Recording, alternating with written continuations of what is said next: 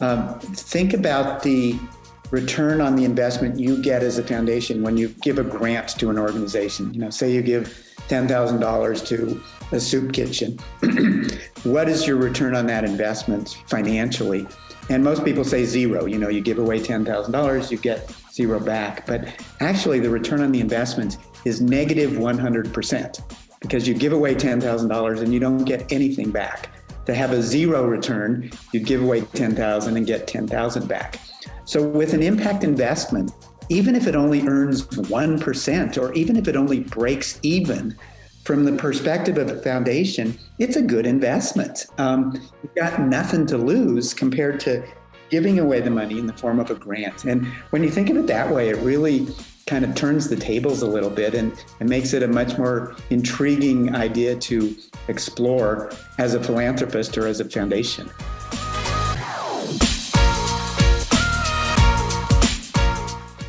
Welcome to the Feast Over Famine podcast.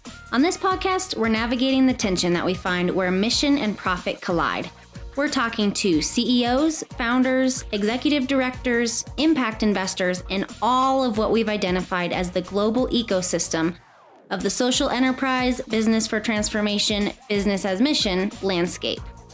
We're talking to them about the obstacles they face, the strategic challenges they've been through, how they're funded, how they were started, and everything that's happened in between. We are trying to share their story in a way that's impactful to help us all to grow the social enterprise space for the better. Enjoy this week's episode with your host, Ryan Mahaffey.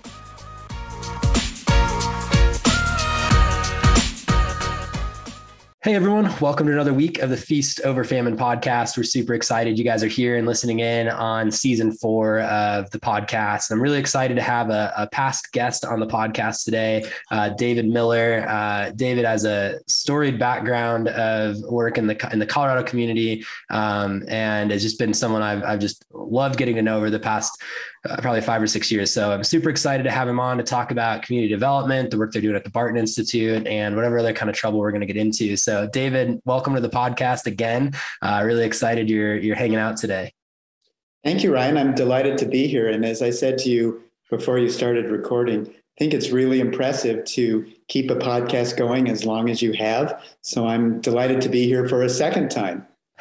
yeah, well, it's we even were talking about some of the differences of of us moving to the season model, and I think our our last uh the last time we recorded, you were I think it was like episode two or three, and it and it became a we we recorded so long and had so much to talk about that it became a two or three part series, and uh, which is cool. But you know, that was pre COVID, or I guess it was maybe that was right when COVID was happening and everything. So, I mean, the world has changed a lot, right? It's only been a, a few years, but a lot's changed. And I know a lot's changed with you. So I'm, I'm excited to press in on some of that stuff.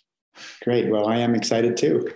So David, maybe, um, just just so people have a little of it could you just give like a one minute overview of just your background and, and some of the things that you've done and i think that'd be really helpful for people to kind of have a context of sure i'm happy to do that I grew up in Denver. I am a fifth generation Denverite, which is pretty unusual in this part of the country.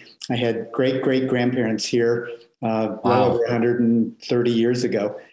I went to Denver Public Schools and I've worked in all three sectors. I started in the public sector with various jobs in state and local government in Colorado. I then went into the private sector and had a consulting firm. Someone described it as an excuse for friends to work together.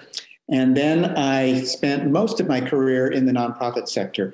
I was the executive director of the Denver Foundation, which is the oldest foundation in Colorado. It's a community foundation serving Metro Denver. And about five years ago, when I first met you, Ryan, I left the Denver Foundation and started a new nonprofit organization called the Barton Institute for Community Action. And I imagine that's most of what we'll be talking about today. Yeah, totally. You know, I think it's um you made the point like it's it's it's rare for someone especially in Colorado. I mean, it's been a transient city, tons of people moving here. It's kind of rare for someone to have deep deep Colorado roots and then for them also to like work and work in making that a better place. You know, there might be people with deep Colorado roots and they're, you know, everyone's making it a better place, but they might be in business or things. But you've been really closely tied to the community and and how it's changing and how to make it better and how to serve those that um, are are you know struggling with with certain kinds of things homelessness addiction poverty incarceration like you've seen all that. So i just i just think you have a really cool lens you know to grow up in the public school system in denver be here grow here and be in that for as many years as you have. It's it's it's a pretty cool um, perspective that i don't i don't think most of us have you know? Like i even just how i grew up on the illinois wisconsin border is a lot different than how someone in denver grew up you know? And and that's just going to change how you perceive the the needs of the region or the city? Yeah, you know, I think for me, it's not a coincidence. Uh, the fact that I have really deep roots in this community is one of the main reasons I am committed to giving back to this community. I feel like preceding generations gave me so many blessings, and I want to try to give forward to future generations. Mm. Yeah. What What do you, David? Before we talk about Barton Institute, like, what do you think is unique or different, either for the good or the bad, about Colorado? So, like in in Denver in particular, compared to other regions around the country, around the world, other cities, what what makes Denver and, and Colorado special? and unique and what also are some of the unique challenges that you've seen i mean i'm sure you've sat at the table over the years with people running foundations and organizations all over the country and and i'm sure you've seen some differences what how would you highlight those things well i could answer a thousand different things but i'll just pick a few. Um, one of i have my two favorite things about colorado are the climate and the people. Um, i think we have the best climate in the entire world. It can be 60 degrees in january a week after or a day after a huge snowstorm. Uh, the sun shines almost every day here, and not a day goes by that I don't appreciate the spectacular beauty we have in in our state. And the second yeah. thing I love about Colorado is the people. Um, it's often said that people in the West are more warm and friendly, and I really believe that. I did live on the East Coast for a while, and it's a big difference between the the culture of the East Coast and the culture in mm. a place like Colorado. So those are the the two things I yeah. most like. Well, one one point I'll throw on and what you liked is I I have to go shovel some snow later today up here in the mountains. So I'm, I'm a little mad at the climate right now, even though it's beautiful. Uh, but two, you know, I've always described Colorado as a place where like the Midwest work, wow. Okay. Historically, the Midwest work ethic and that Midwest hometown friendly niceness meets the progressive energy of the West Coast, uh, where you kind of get a blend. Like you go to California and it's a little different. Uh, you don't have that much of that Midwest hometown nice vibe, like holding the door open for someone kind of thing. And that's not to hit on on California. Um, and you go to the midwest and you don't have that like progressive kind of pushing the limits you know you don't have sectors uh, a ton of sectors doing things. I mean and i'm i'm over stereotyping there's definitely that there but colorado's been a really cool blend of those two and i think i think montana is, is somewhat similar and just kind of the this i guess eastern part of the continental divide um, where that hits. So I, i've always appreciated that part about the people as well. Yeah i think that's really true and you know, when I grew up, Denver literally was a cow town. And it's so much more interesting and cosmopolitan now than when I was growing up. And so I think the the influx of people from other places is by far a huge positive. Um, but, it, but it's also the biggest challenge we face. I mean, literally in the last many decades, Colorado's growth has just been enormous. And that creates huge challenges. Um, not the least of which is affordable housing and availability of housing and all kinds of other things that we'll probably talk about in the next few minutes. Yeah, yeah. So what what are a couple of those? So to just kind of finish off that question, like a couple of the challenges that are that you've seen be unique to Colorado for one reason or the other that you haven't seen in, in some of the other places. Yeah, I don't know if I'd use the word unique, but I think Colorado's biggest challenges stem from this rapid growth that we have experienced and are experiencing. And again, on balance, I think the growth is really good. We wouldn't want to be stagnant or worse. Right. But right. the growth brings with it a huge number of challenges, um, not the least of which are gentrification and things like that. Mm-hmm. Yeah. Yeah. And, and, um, I'm, in, I'm intrigued your thoughts on that actually for a second on just gentrification in Colorado. Um, I've got a lot of thoughts on that. I mean, living in Chicago for a long time, going to school at a, at a Jesuit school in Milwaukee, uh, inner city Milwaukee, which the Jesuits are notorious for dropping these um, private high institutions right next to um, impoverished areas, and that's intentional on social justice. But gentrific, like the gentrification uh, in Colorado over the past maybe ten to fifteen years, has definitely been interesting, and um, the the way that you know, like if I think about a city like Chicago, um, you kind of push out. So like the neighborhoods closer to downtown start to develop and that pushes out you know the cost you get further away from the city. That's kind of happened in denver but not quite. And there aren't neighborhoods in denver that i'm like oh i, I wouldn't want to walk. I mean i guess there are but i wouldn't want to walk down there at, at one in the morning. Um, obviously there are some of those in denver but not the same way as there are in some other cities that i know where it's like that that just wouldn't be super wise. What yeah what, what are your thoughts on on how gentrification has happened here? Um, how it's been a little maybe different than some other urban urban centers and yeah i'd be curious your thoughts on that. Well i'm not an expert on gentrification and i don't know a whole lot about other places. Uh, so i can basically only talk about experiences in denver but one thing i feel pretty strongly about is that growth is inevitable i remember back uh, when i was young and kind of a an extreme environmentalist, uh, there were these anti-growth movements in Colorado, mm. and the city of Boulder s- set some limits on how much they could grow, and you just can't do that. Um, at least in a democratic society with a capitalistic economy, um, growth is going to happen whether we like it or not. And so yeah. I think the focus needs to be not on whether we grow, but on how we grow. And mm.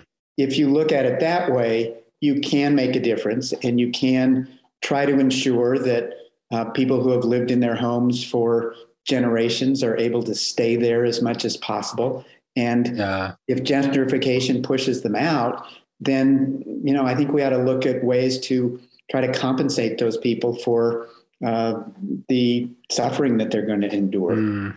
Mm. Yeah. Yeah. No, I love that. And I love that perspective. Like it's not saying, uh, let's not do it. Let's not saying stop the growth or it's saying like, let's just do it in a way that preserves those that it might, might impact negatively, which is cool. And, and, and that's a great, yeah, it's a great transition into the, the Barton Institute. Um, why don't you share a little bit uh, about what what that is. I mean, we have the other podcasts that people can go listen to for a really deep dive on on what you guys are doing, but kind of what sparked you to start that, why that was even different for the move from the Denver Foundation for you, and then um, a little bit of the journey over the past couple years and and and where you guys are kind of at today on that.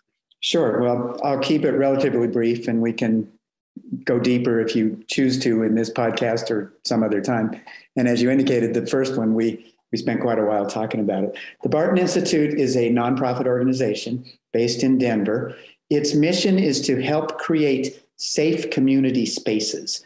And we have five or so programs that we're working with right now um, that, in various ways, help to create safe community spaces. They serve different populations. One of them serves single mother refugees, for example. Another serves people who are experiencing homelessness. Um, but they all have in common the desire to create what we call a safe community space. Love that. Yeah. Um, and, and, and as you say that, I mean, a lot of the projects that you guys have, I think fit that. So, um, why don't you share a few of the projects that you guys have worked on and maybe a couple that are in the, in the pipeline, and then we can go from there. Sure. Well, I'll pick two or three to briefly summarize, but, uh, feel free to interrupt if you have questions or want me to go in a different direction. Uh, in no particular order, uh, one of our projects is called the Village Institute.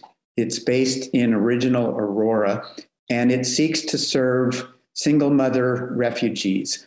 On the first, on the second floor of the building that they are in the process of purchasing, there are four apartment units occupied by four women who are single mother refugees from four different countries in Africa and Asia. So these moms live on the second floor in uh, one bedroom apartments with their kids or two bedroom apartments in some cases. Um, and then on the first floor is a childcare center. They are licensed for 70 little kids. And many of the moms who live upstairs work downstairs in the childcare center. Oh, wow. Cool. It's a great little social enterprise. It provides housing for these four families, and it also provides jobs for the four families. Interesting. Yeah, that's a, that's a cool model. Um, is it's because it, it's it's revenue gen. I mean, it's a it's a true social enterprise. I mean, it's revenue generating. It's it's serving people. It's giving them an employment that can work well.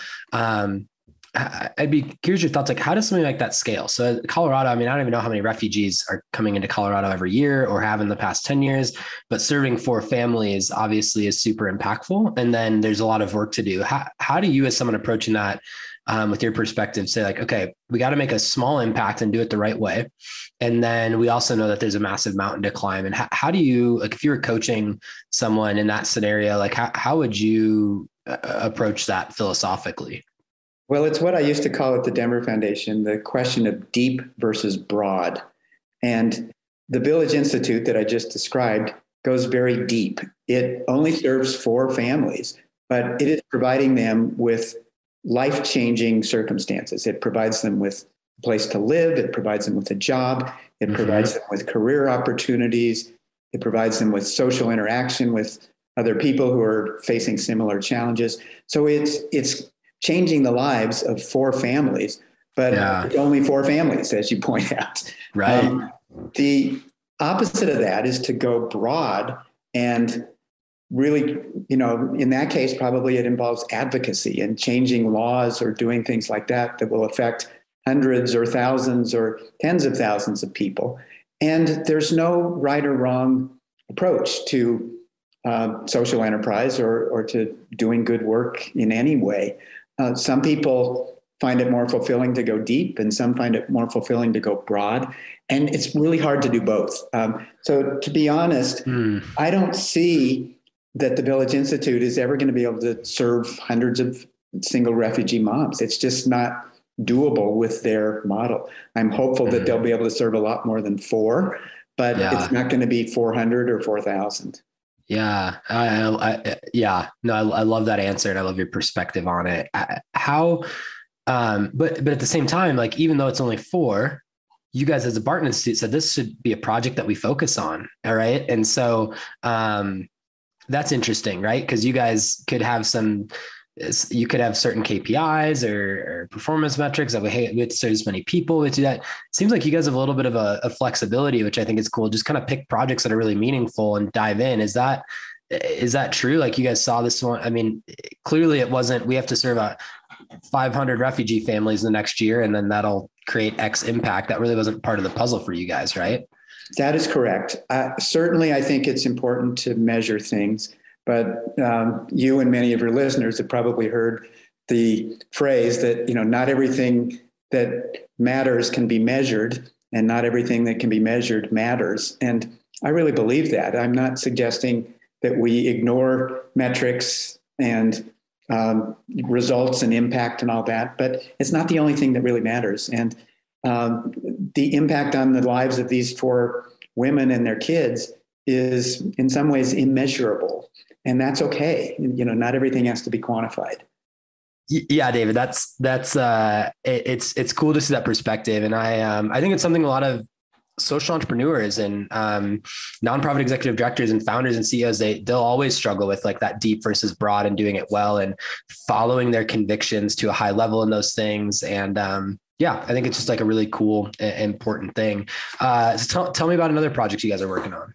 Sure. It's called the Colorado Safe Parking Initiative. And this is one that really didn't exist the last time you and I talked on this podcast, Ryan. It is an organization that provides space for people who are homeless but own a car to sleep in their car safely at night. And most of your listeners are probably aware that excuse me, there are people in Metro Denver who um, don't have a place to live, but do own a car, and they try to find a safe place to sleep in their car at night. Well, this program provides uh, more than 100 people with that opportunity. We partner with churches around the community, and we now have 11 churches in many, many parts of the metro area uh, Golden, Broomfield, Longmont, Aurora, Denver, etc. Uh, the churches provide safe parking spaces in their parking lots for people who have a car but don't have a home. And mm. um, there is, we provide porta potties and lighting and running water for washing and security so that the people can live safely in their cars without fear of uh, anything related to their safety. And um, so it seems to be working really well. The churches are wonderful to work with. And often the um, congregants of the church will provide food for people and um, other assistance. And, um, you know, these are people who, in many cases, in most cases, have a job and they, um, yeah. they have an asset, they own a car. And so the hope is that they can stay there for a few months, save up their money, mm. and then have enough to make a down payment on an apartment and get back into permanent housing. Um, yeah. And for many yeah. people, that's already been the case. What an amazing project. And I remember us talking a, f- a few weeks ago and uh, I, I, was really intrigued by this one. Um, and, and so are they, are they long-term? Like, is it that the parking spot, the parking lot rotates by church every, every night or every week, or does each church commit to having it forever? And there's just always going to be someone kind of staying and living in their parking lot for this for this season that they're doing that. How, how does that work logistically? Well from the perspective of the um, car owner um, there's no limit. So you know a lot of programs say well you can only do this for 90 days and then you got to move um, people are not kicked out. Um, the arrangements with each church vary from place to place. Um, in no case is it permanent because uh, neighbors wouldn't be happy if they knew this was going to be there forever. And so, one of the keys to working with the neighborhoods and getting the neighborhoods to agree to these safe parking places is there's a time limit on them. And typically, it's six months and um, okay. sort of seasonal, you know, from September to March to get people through the cold season. Yeah. But um, sometimes it's longer, and often it'll be renewed for another six months if if everything is going well. So it really depends. Yeah, that's awesome. And then, you know, um, I, I'm in the, we've talked about this a little bit, but I think it's cool for people to hear how you guys function. As you talk about that, you said, you said we a lot. Um, and and with the Village Institute, you said they a good bit. So I, am assuming there's different relationships that you have with different projects where sometimes you're supporting uh, by coaching and doing a little bit of consulting and helping. And there's some, and I even know this just from talking to you. There's some that you're you're really deep in it, and then there's some that you're kind of supporting. How how do you guys balance that as the Barton Institute of what is your role uh, in relation to these and in relation to their success and is that different in different times um, how, how does that part work out Good question. And we're still evolving the answer to that question. But uh, for the two organizations I've talked about so far, we are what's called the fiscal sponsor. And basically, what that means is that we are a nonprofit, a 501c3 organization, and they are not. And so we provide all kinds of back office operations, back office services for those organizations. The, the people on their staff are technically on our payroll, and we handle their accounting and bookkeeping and tax returns and payroll and benefits and all that stuff so that they can really focus as social entrepreneurs on what they're trying to get done mm-hmm. rather than worrying about the business side of it. Um, yeah. So it's it's kind of odd. Sometimes I talk about it as we, and sometimes I talk about it as they. Um, and in a sense, I should never use the word we because they're doing the real important work on the ground. Mm. And in another sense, I should always use the word we because uh, we're helping them to do their very important work. So uh, I kind of use pronouns irrationally, but that's the way it is. You know, I can totally relate to that because I, and I, I actually catch myself sometimes saying, we uh, when i talk about some projects and they when i talk about others sometimes it's intentional and sometimes it's subconscious. Sometimes maybe it's not going well and i don't want to take responsibility for it. I'm like yeah that's what that's what they're doing now um, uh, subconsciously which isn't ideal. But um, I think when you're coming alongside any organization anyway, whether you're a donor, an investor, uh, a fiscal partner, a consultant, a coach, a volunteer, to take that we mentality and really uh, come alongside them as part of their team, invested um, deeply in what they're doing, and and and putting yourself out there to make it we. I think that just makes it a better engagement or relationship, and it challenges you to do it at a different level. You know, when you can keep it at an arm's length, it's it's just a lot different. So I, I generally I think we is we is definitely uh, better, and I just thought it was a unique kind of nuance of how you guys function and work and an opportunity to explain that. Yeah, well, I agree with you 100%. And you were totally right. It was subconscious on my part, whether I said we or they. It's kind of funny, you know, I, I have been gone from the Denver Foundation now for um, six years, and I still refer to we when I talk about the Denver Foundation. And it's, it's been six yeah. years since I was there, but oh, you know, my, heart, my heart is still yeah. there. Yeah, and you left quite the legacy there. So it's something that like a lot of what they're doing today is still impacted by what you've done, and that doesn't really go away. So that that makes sense for me.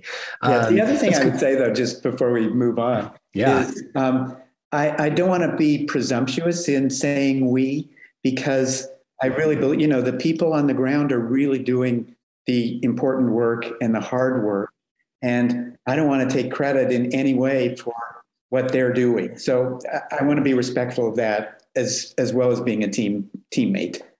Yeah, no, I think that's right. It's uh because that you know, and I think it's important if if someone's ever listening to the podcast and discerning their role in this kind of world, like to to discern like where they fit, because that on the ground piece is a lot different than kind of supporting at a distance, right? If you're on the ground every evening, if you're uh, talking to folks that are and serving folks who are part of that um, the safe parking initiative like uh, there's unique challenges and there's counseling opportunities and that's it's just a it could wear on you but it's what's needed. Um, and then during the day to be talking about the scaling impacts the financial impacts or this metric or that metric like you're kind of removed from the um, it's still really hard and challenging in its own unique ways but you're removed from some of the really weathering parts of of of what serving others on the ground looks like. And so, yeah, I think it's really important to know that difference. And it's something I have to remind myself often too, just,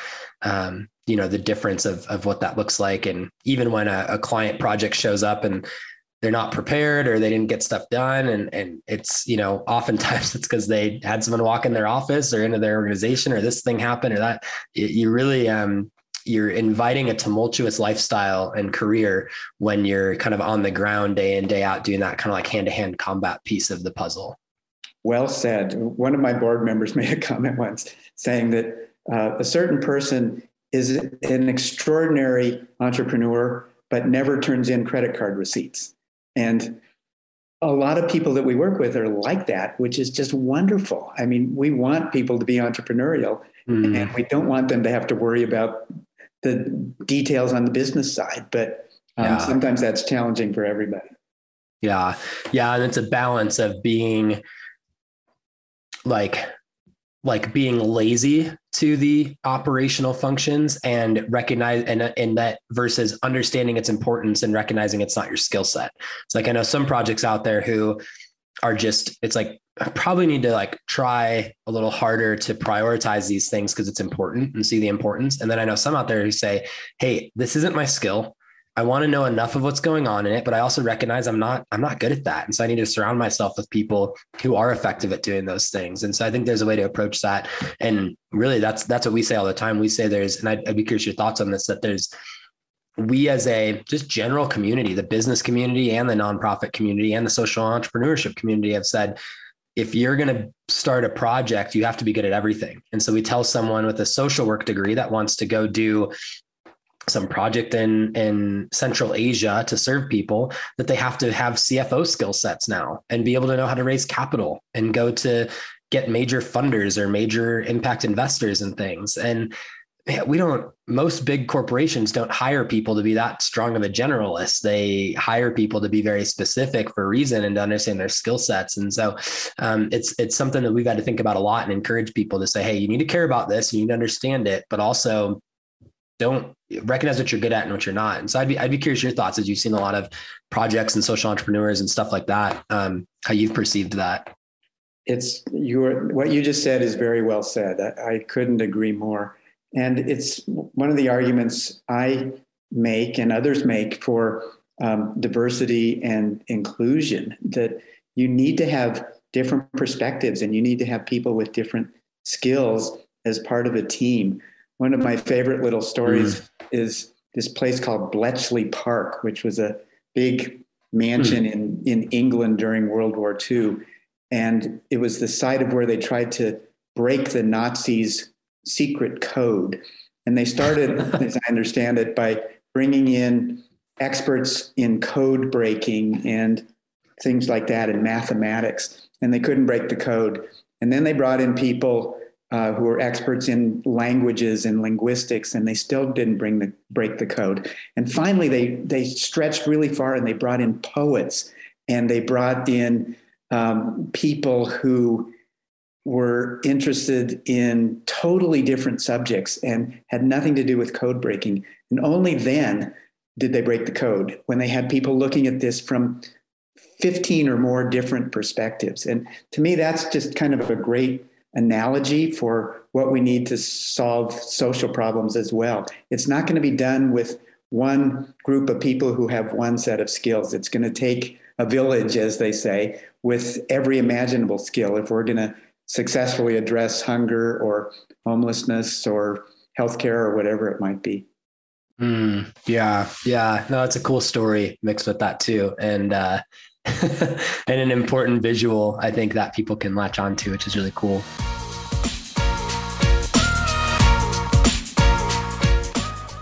All right, everyone. I want to take a quick break from today's episode and just share a little bit about Impact Foundation, who's got an incredibly awesome model of using impact investment, charitable dollars, and funding tons of projects all over the world right now. What if your investments could change the world? At Impact Foundation, they believe business with purpose has the power to transform society. Purpose built for impact investing, Impact Foundation provides a streamlined way to fund businesses that seek social and spiritual transformation or make loans to charity, all while earning a financial return to grow your giving. Donors and investors have already supported more than 200 redemptive enterprises through their impact accounts. They provide needed fuel for companies that exist as a force of God's redemptive work in the world. To learn more about what they're doing and their kingdom impact investing model, visit impactfoundation.org.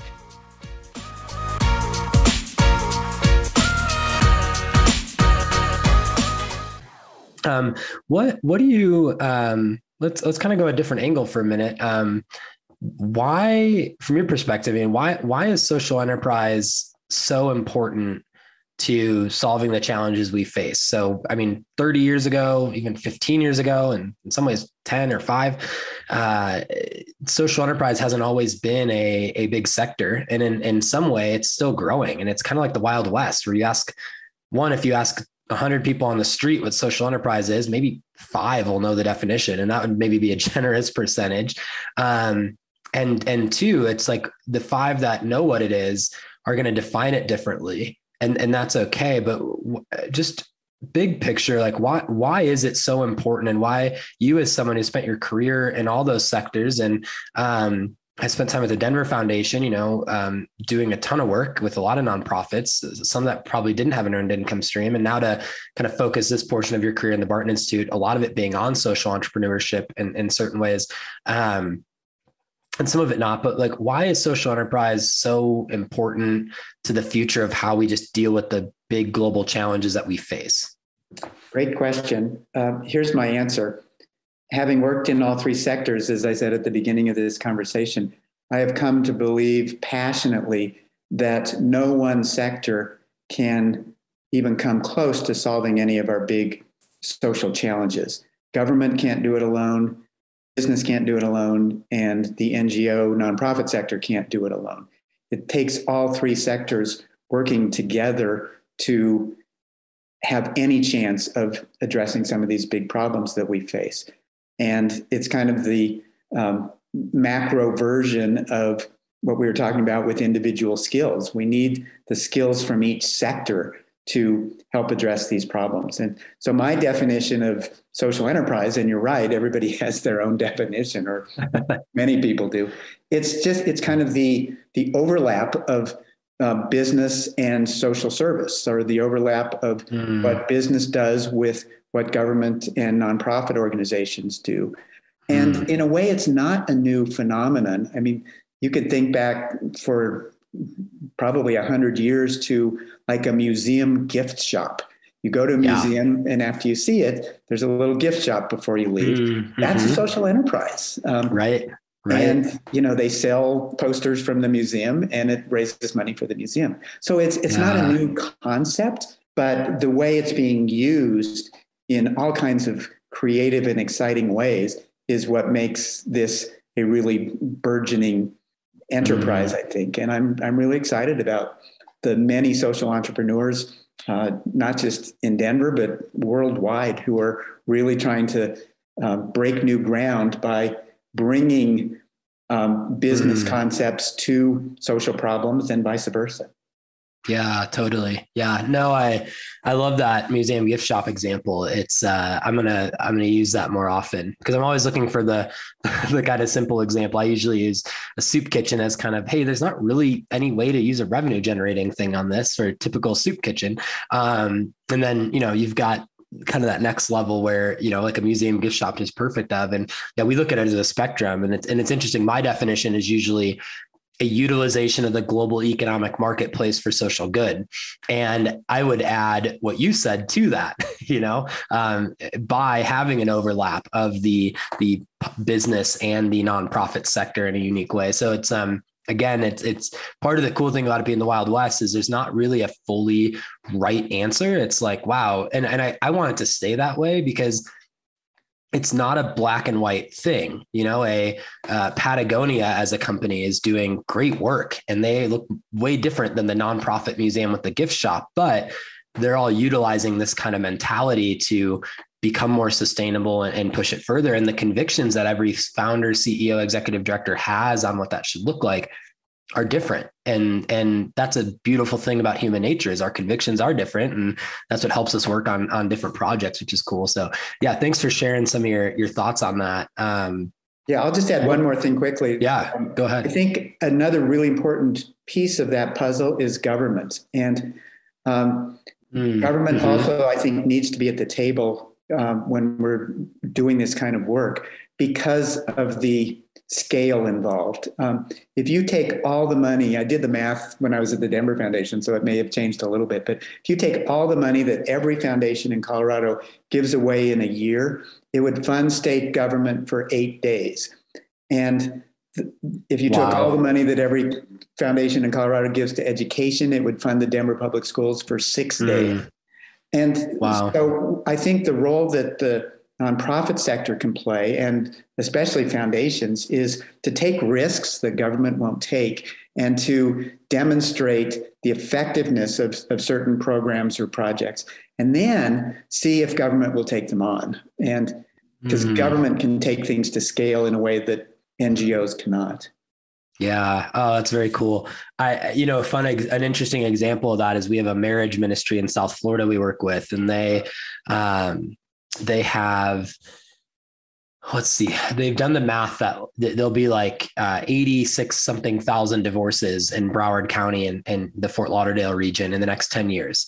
And it's a it's like a $31000 societal cost and, and we talk about it. We, we actually recorded a podcast episode with them that'll be part of season four. I don't know if it'll come out before this one or after this one, um, but you know maybe before, after, whatever for people to have a context. But the point being, you know, we talk about it. It's like thirty one thousand dollars societal cost per divorce, and that could be uh, child child support that needs to happen. That could be counseling for kids that come out of that that it's an issue. That could be uh, subsidies and TANF and things where you now have a split income and people can't really like afford on their own. So they need some government subsidies.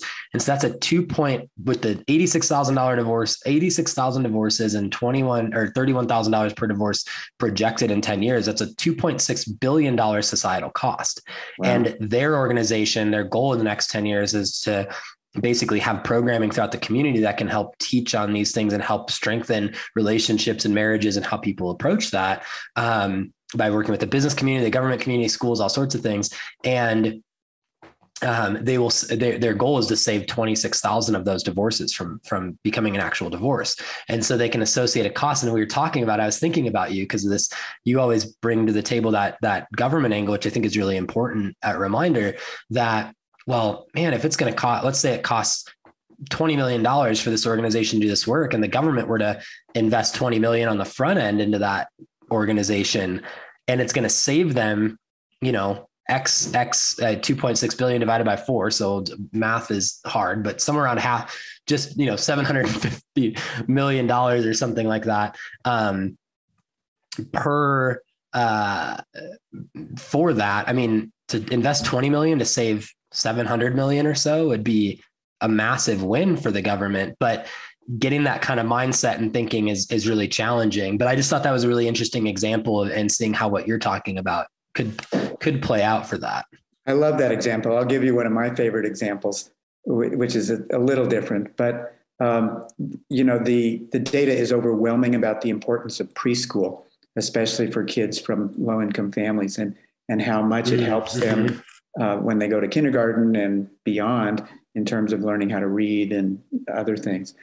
Well, a foundation in Denver um, funded a study to provide preschool free of charge for four year olds. And after several years of showing the results that the kids who went to preschool did way better than the kids who didn't when they got to K through three, um, there was then a ballot issue in Denver to raise the sales tax to provide free preschool to every four year old in the city who needed financial help.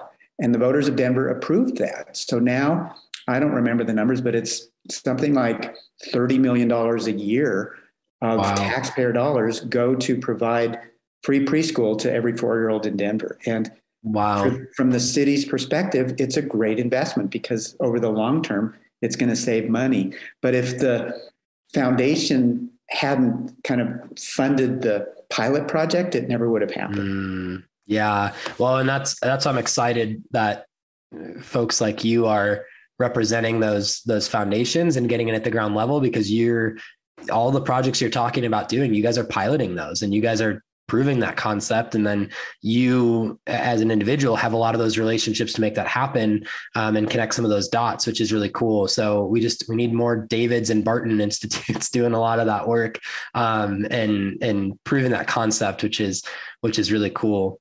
Um, i guess the last thing that i wanted to kind of throw out there um, before we wrap up here was just kind of the role that um, similar to social enterprise, but what, what your thoughts are on the impact investing landscape. Again, another thing that feels like the Wild West in a sense. And you've got the ESG model uh, with, with the you know stock market and looking at publicly traded organizations. You've got uh, venture capital and private equity company firms now looking at um, certain impact oriented pieces and, and what that's going to look like. Uh, versions of that that say are they just taking good care of their employees versus are they investing in the community like maybe patagonia is with climate change? Um, and all the way to debt to, uh, debt impact investment to a nonprofit organization that there's really no exit strategy or profit dividends, but it's really uh, a different model than t- traditional philanthropy. So I'm just kind of curious, like as you're seeing this landscape change, some of your thoughts on impact investing and where it's heading, and and maybe what the space needs and some of that kind of stuff. Sure. Well, I'm very excited about impact investing. I think it has enormous potential. I'll um, briefly describe something that my friend Steph Gripney has told people if you're on the foundation side, which is um, think about the return on the investment you get as a foundation when you give a grant to an organization. You know, say you give $10,000 to a soup kitchen. what is your return on that investment financially? And most people say zero. You know, you give away $10,000, you get zero back. But actually, the return on the investment is negative 100% because you give away $10,000 and you don't get anything back. To have a zero return, you'd give away 10,000 and get 10,000 back. So with an impact investment, even if it only earns 1% or even if it only breaks even, from the perspective of a foundation, it's a good investment. Um, you've got nothing to lose compared to giving away the money in the form of a grant. And when you think of it that way, it really kind of turns the tables a little bit and, and makes it a much more intriguing idea to explore as a philanthropist or as a foundation. Um, that said, not every nonprofit organization can handle or use impact investments. Just as you were saying, Ryan, that a, you know a soup kitchen probably can't um, generate a whole lot of revenue by selling products, or like a, a museum gift shop can do. Um, so it's not for everybody, and it's not going to be the um, cure-all to end all. But I still think there's huge potential for impact investing and all of its variations um, compared to what we're doing now. I think it's really just in the early stages and it's it's going to explode in growth in the coming mm. years but it will not replace philanthropy and it will not replace social um, corporate social responsibility or, or other things it needs to be a, a tool in the toolkit but yeah. not the total solution oh man i i love that response and i'm gonna i'm gonna snippet that uh, quote from from this podcast and use it use it uh, often because i totally agree with you and i um and I, on every level, uh, it isn't the end all solution, um, but it, it can be a better stewardship of um, of resources to do it that way to basically recycle those funds. And again we're still going to need to give that to the soup kitchen and that that has its place.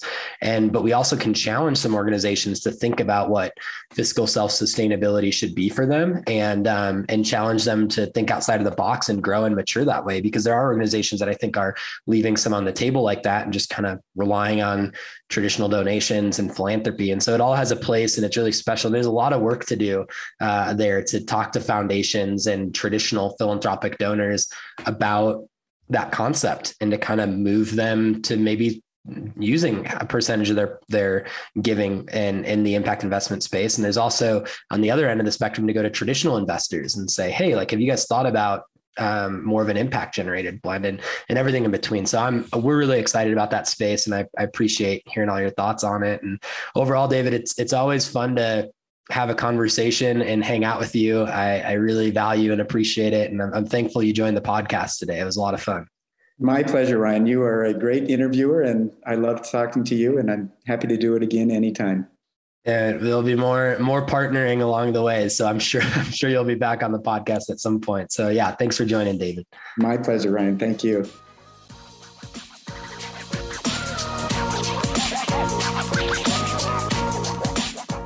All right, everyone. Thank you for listening to another week of the Feast Over Famine podcast. We are so thankful you guys are here and listening. As always, hit that subscribe button on your favorite podcast listening apps. Uh, we would love to keep you guys up to date on new episodes that are coming out when we're launching new episodes, when we're launching new seasons, uh, and everything in between. So uh, when we're in season, episodes are dropping every single Wednesday. Hit that subscribe button, make sure you're up to date. Also, uh, if you're loving what we're doing, be sure to follow us on Facebook, Instagram, LinkedIn, where we're constantly posting about our projects, what they're doing, uh, what kinds of things we're working on. We'll recycle some uh, podcasts, uh, things about our partners, all sorts of fun stuff that you want to see. So hit us up on Facebook, Instagram, LinkedIn, all that kind of stuff, and check out what we're doing there. And yeah, we're stoked that you guys are listening. We hope this has been really fruitful, and we will catch you guys next week.